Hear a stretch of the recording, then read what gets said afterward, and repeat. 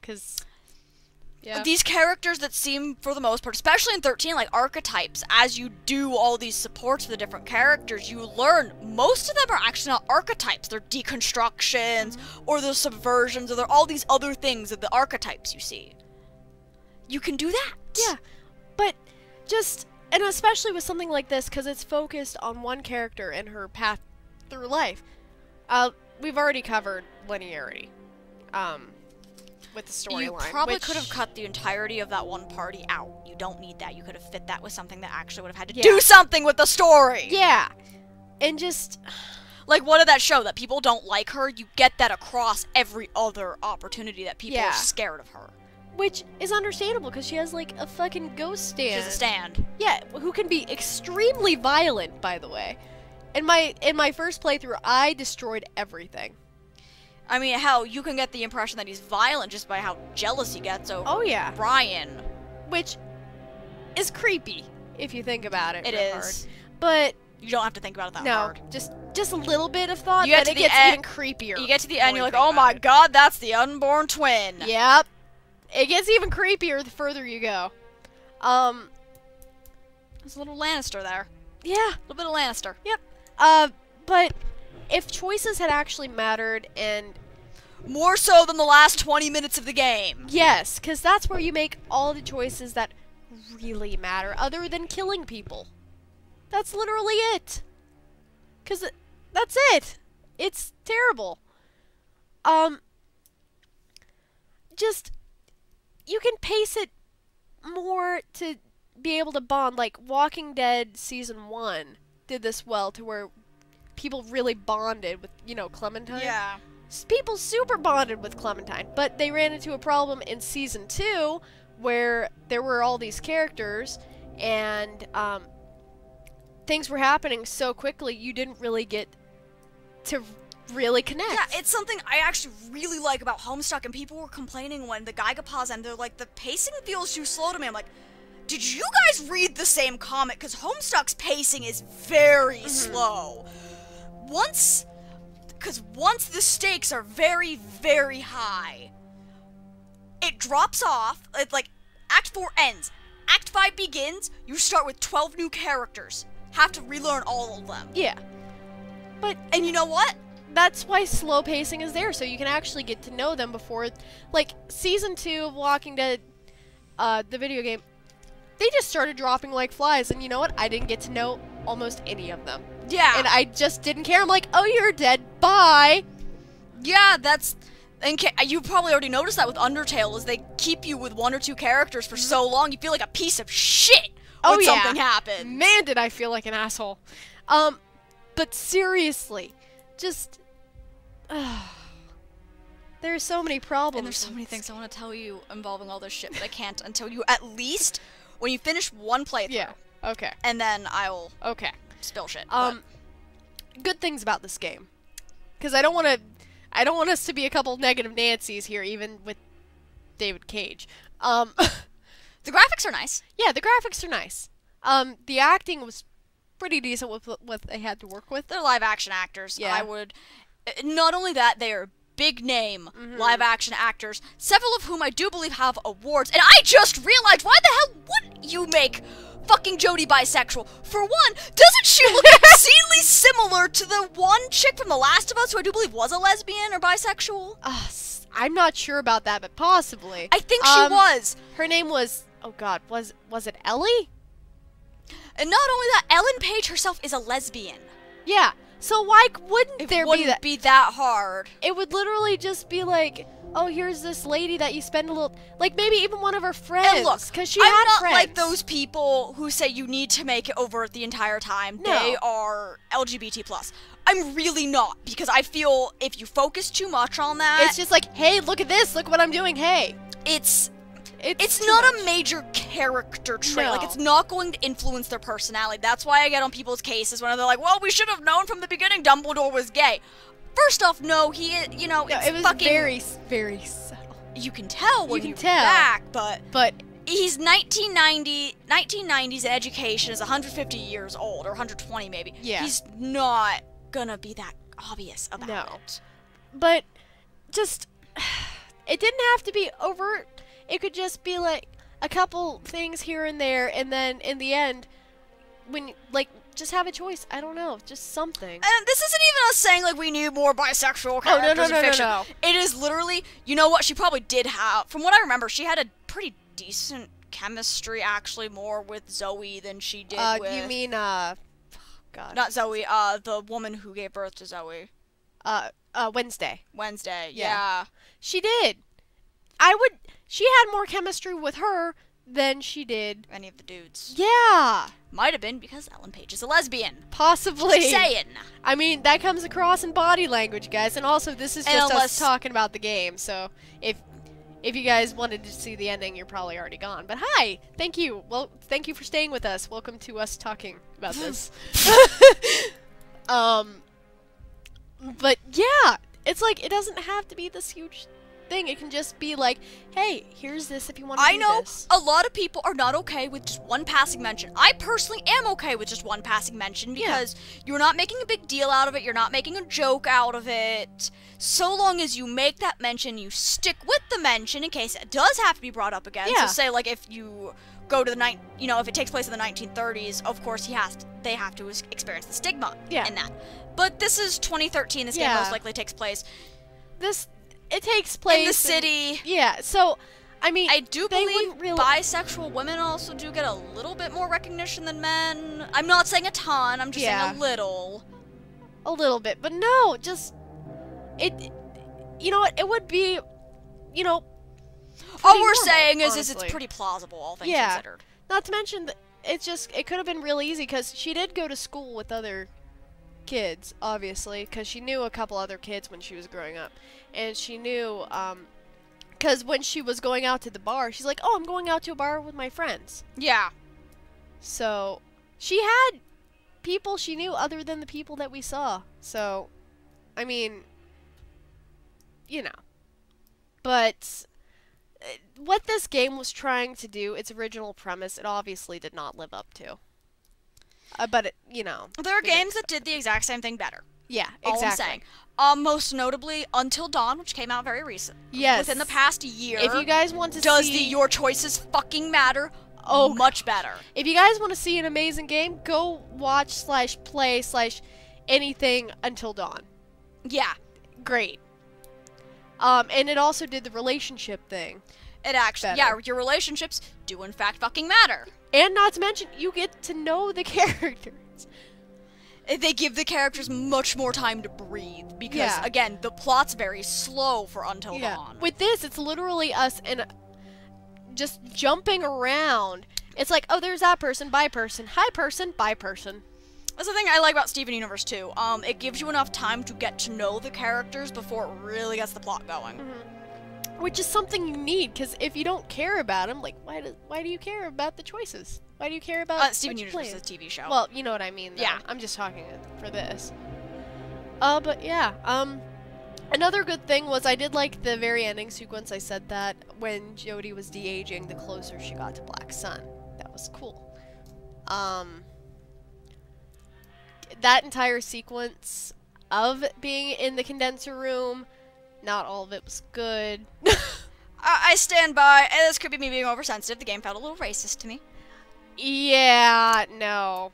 It's there were definitely times in it when it was just like especially Navajo, which is fine to have that in there, but I mean ah especially the uh the thing about uh, i am planning on going back at some point and seeing if that is an actual navajo spirit or Yeah. if that is something he bullshitted okay, i, I do want to see that's completely fine with me. very curious because one of my characters is actually part navajo oh, I see.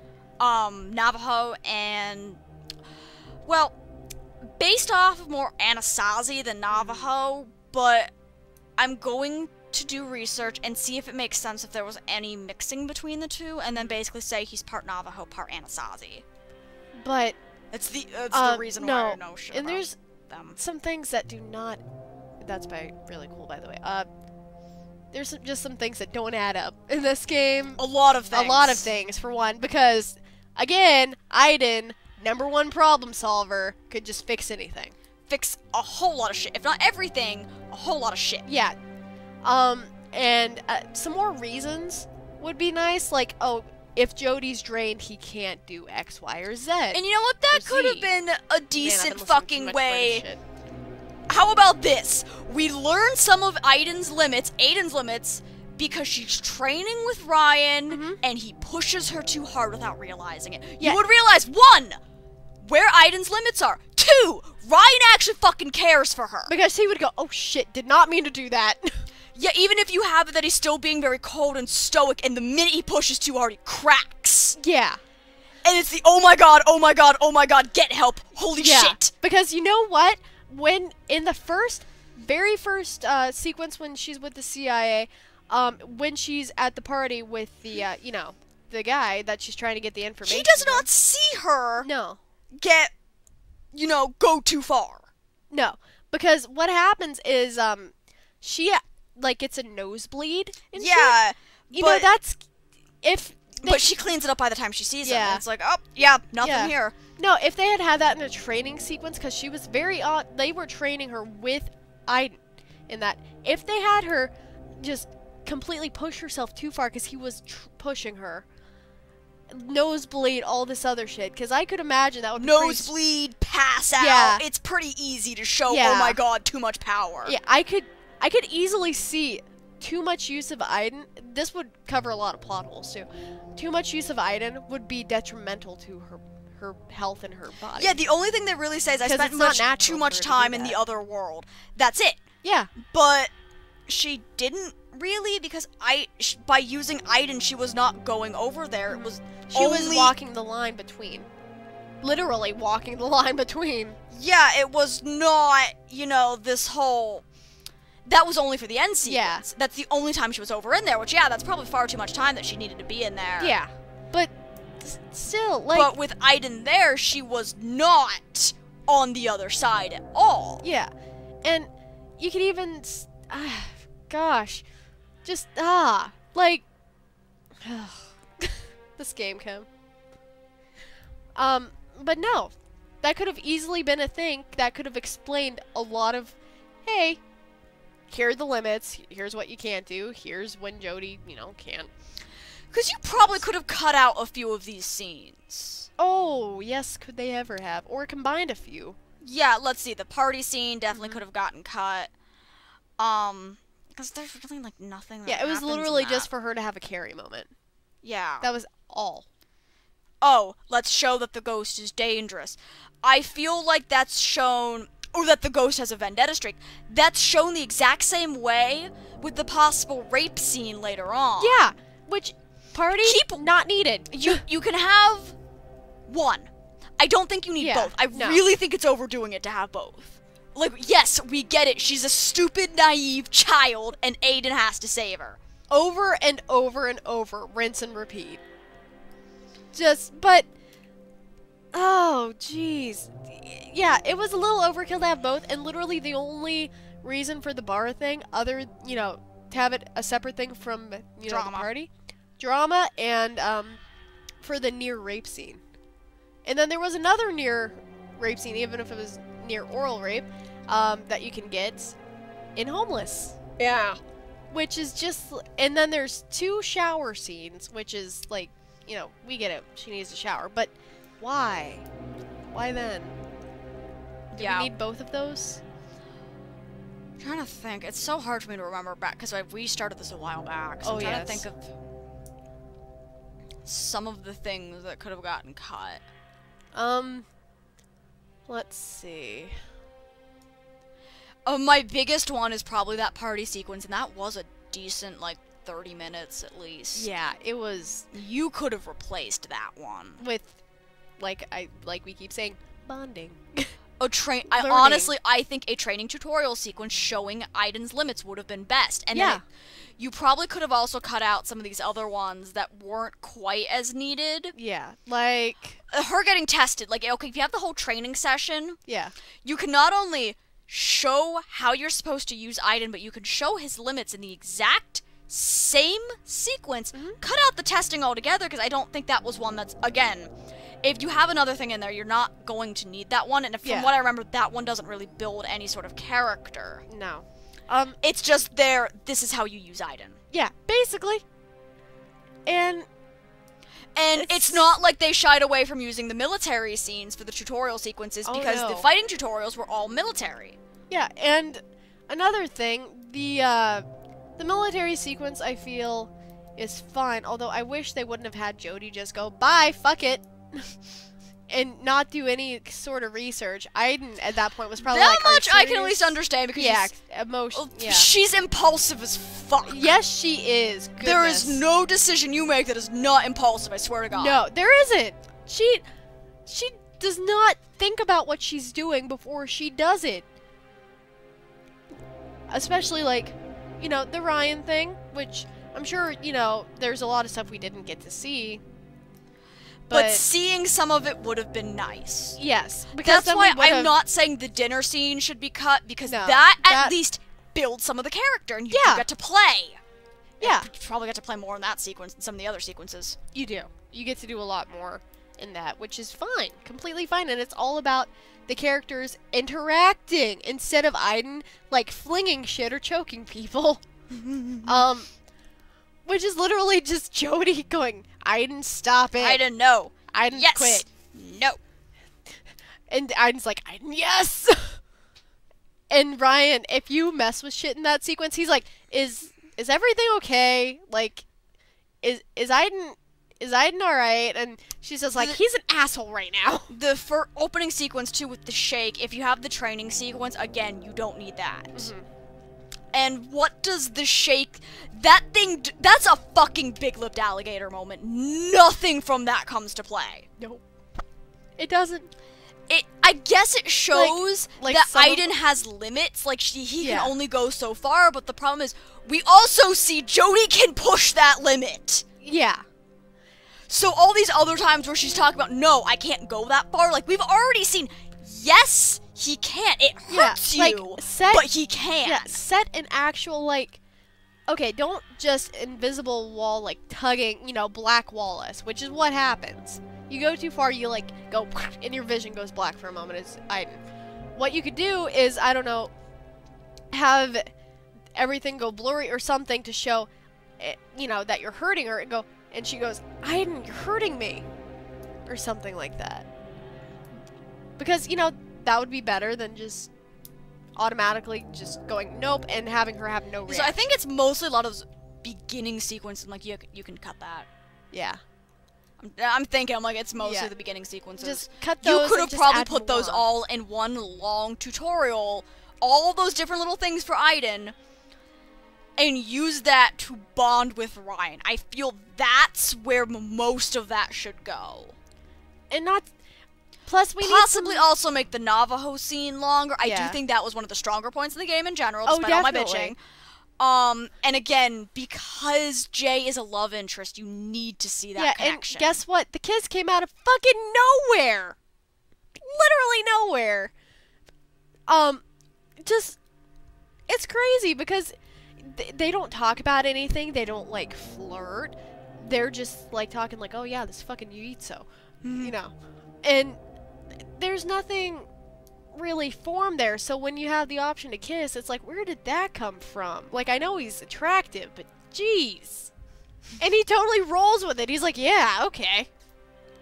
Um, some more time there would be great because Navajo is one of the stronger points. A homeless, and was it also one of the a stronger, points? Notice when you can actually interact with other characters. Yeah, when it's far more than just Jodie and Aiden, I feel the points are the strongest. Yes. Her relationship with Cole was not that bad. No, I actually like Cole genuinely after a Yeah. couple playthroughs, and you know because he actually cared. He showed he cared, and even after she like piloted him with Aiden, he's still like, okay, I, Also, I do believe Homeless and I- Navajo were two of the longer segments as well. they were. So notice when you stick with one story, It gets, I don't know, more, emotional Motion, development, and then it gets just it.